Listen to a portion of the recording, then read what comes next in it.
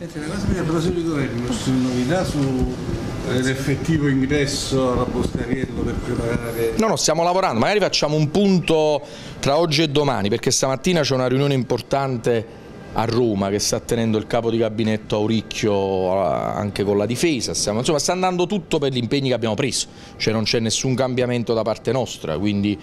nomiano, sì temporaneità, insomma quello che siamo già detti, là stiamo lavorando con la massima accelerazione possibile, il Comune devo dire la verità tra le tante situazioni complicate, come vedete sta sul pezzo su tutto e stiamo cercando di lavorare nel miglior modo possibile anche in un contesto